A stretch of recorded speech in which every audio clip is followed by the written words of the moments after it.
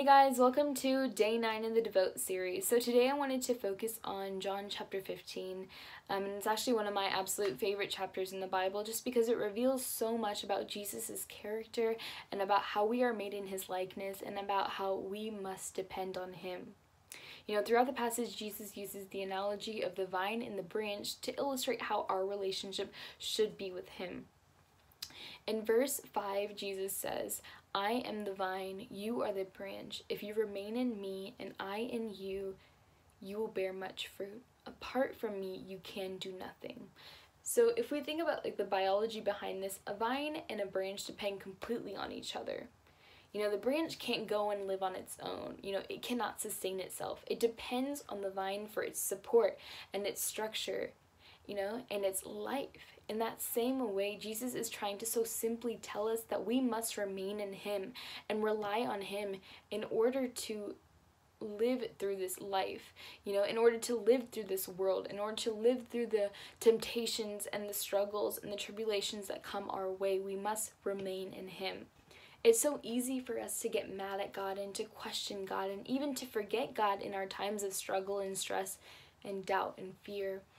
We tend to ask God, why aren't things going the way that I want them to? You know, but that's just it.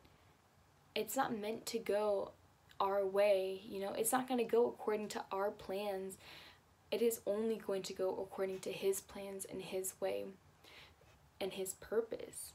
You know, maybe in that time of struggle or doubt, God's trying to tell you something. He's trying to reveal that you must surrender everything to Him. That maybe He's trying to tell you to remain in Him to rely on Him and to leave everything at His feet. You know, let go and let God. Don't be that one branch that tries to, you know, go off and live on its own because in the end it's going to wither away and die. Remain in the vine and He will make you bear fruit. You know, that's a firm promise. You know, there's no struggle or no doubt in that statement. Jesus promises that if you remain in Him, He will let you bear much fruit. You know, that's complete assurance from God that He is only working for the good of us. In verse 16, Jesus says, You did not choose me, but I chose you and appointed you so that you might go out and bear fruit, fruit that will last. You know, how amazing is that the God of this universe has picked you and appointed you out of the billions of people on this earth for a special um, task for His kingdom. You know, each of you guys has a purpose. If you are breathing right now, if you wake up tomorrow and you were given the blessing of a breath, and that means your branch isn't done bearing fruit. So I challenge you to go out and spread his kingdom even more. You know, even if you are unsure about your purpose right now, a lot of us are unsure about our purpose purpose, but don't let that stop you from furthering his kingdom, from bearing fruit on your branch. Remain in him and he will make you bear much fruit.